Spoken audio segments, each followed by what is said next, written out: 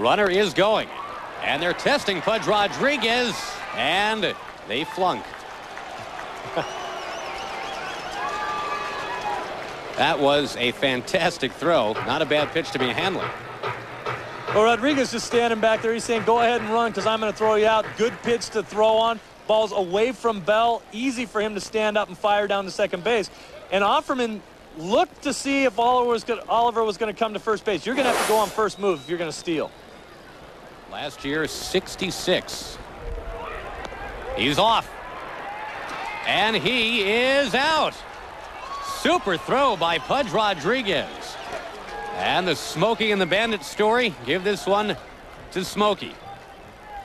Goodwin caught stealing. That's the inning. He'll play the fourth with Juan Gonzalez about to come up.